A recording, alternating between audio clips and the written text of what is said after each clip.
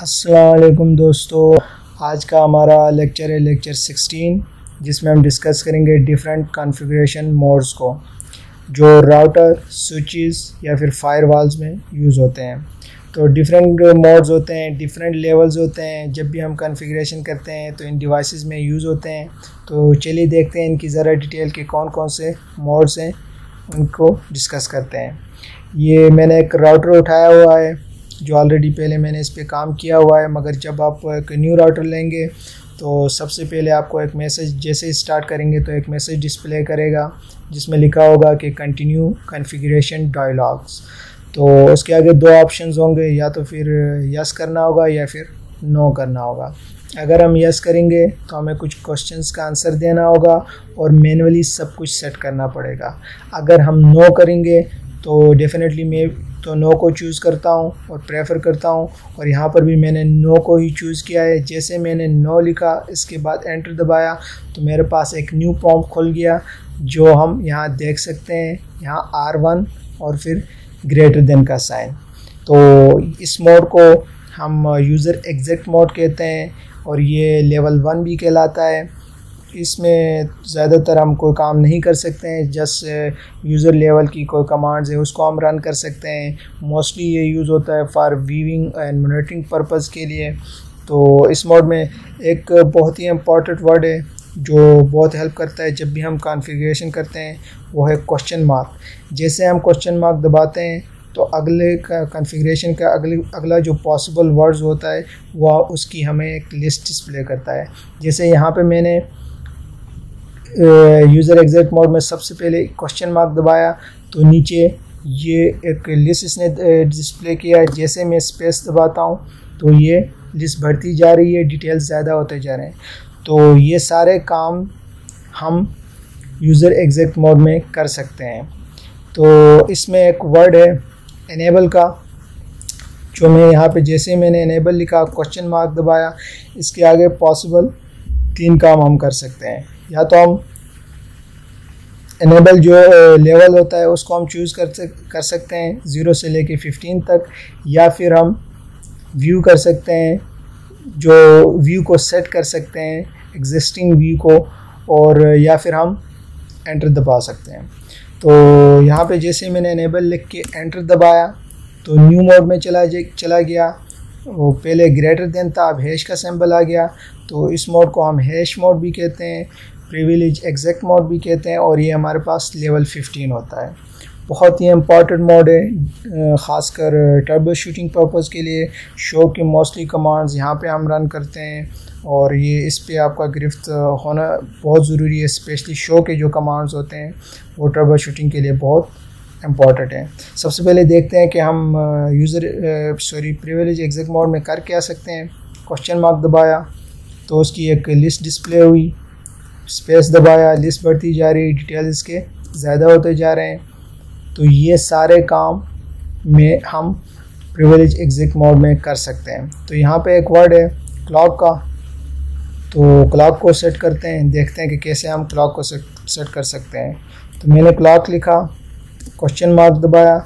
Next possible जो word है, इसकी कन्फिग्रेशन में हम क्लॉक को सेट ही कर सकते हैं। सेट को लिखा। फिर क्वेश्चन मार्क दबाया। करंट टाइम हमने चूज़ करना होगा। तो मैं कोई मैं रेंडमली कोई करंट टाइम उठाता हूँ। आवर्स मिनट और फिर सेकंड्स को। उसके बाद क्वेश्चन मार्क डेट वो भी मैं ट्वेल्व ही करता हूँ। फिर मंथ हमें शो कर रहा है। अप्रैल में चूज़ करता हूँ।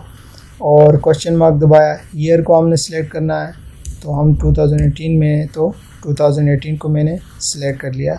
और इसके बाद जैसे एक क्वेश्चन मार्क दबाया तो कुछ और आगे पॉसिबल वर्ड नहीं है, सिर्फ़ हम एंटर कर सकते हैं। जैसे हमने एंटर कर दिया तो एक मैसेज डिस्प्ले हो गया कि इसने, जिसमें लिखा हो कि system clock has been updated from this time Friday और ये जो न्यू टाइम है किसने किया हुआ है? Configure from console console console की मदद तो ये एक मैसेज डिस्प्ले हो गया तो अब हमारा जो राउटर का क्लाक है, वो सेट हो गया ये टाइम पे। तो ऐसे हम एक प्रिविलेज एग्जैक्ट मोड में काम कर सकते हैं। तो चलिए देखते हैं शो के कुछ कमांड्स देखते हैं।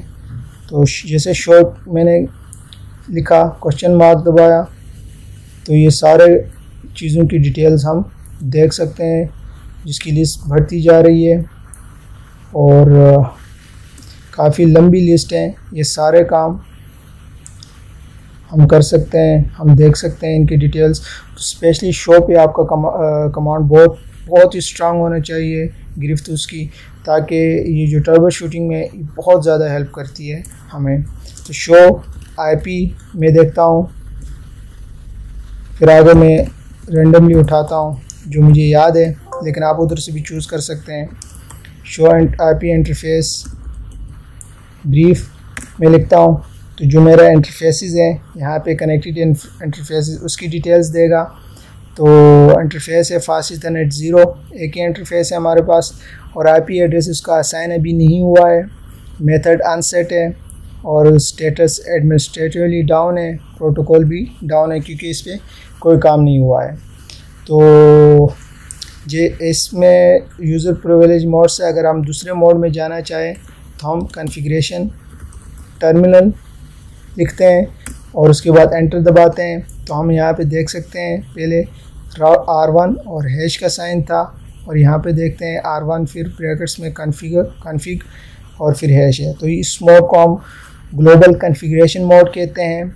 और इसमें जो, इसका मेन पर्पज़ है मेन काम ये है कि जो भी काम हम ग्लोबल कन्फिग्रेशन मोड में करेंगे, वो पूरे एंटायर डिवाइस पे उसका इफ़ेक्ट होता है। जैसे हम यहाँ पे कोई होस्ट नेम अगर चेंज करना चाहें तो सपोज़ मैं होस्ट नेम राउटर वन इसका रखता हूँ।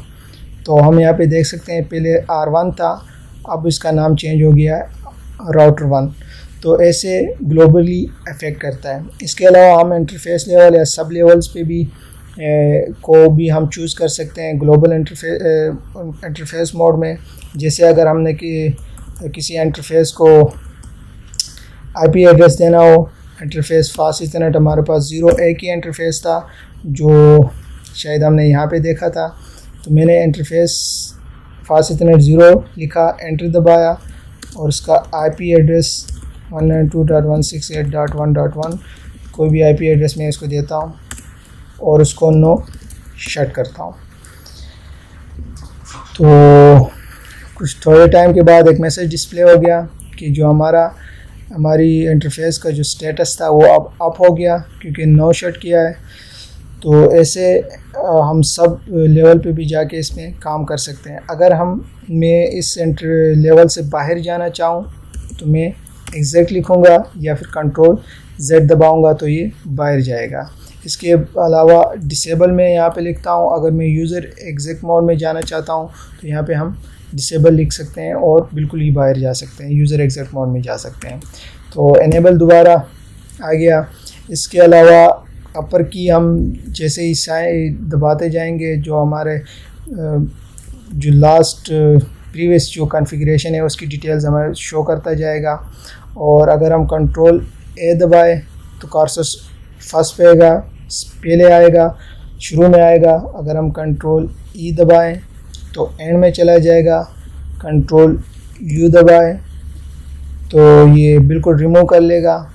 तो ऐसे गाइस हम कॉन्फ़िगरेशन करते हैं। प्रैक्टिस कीजिएगा।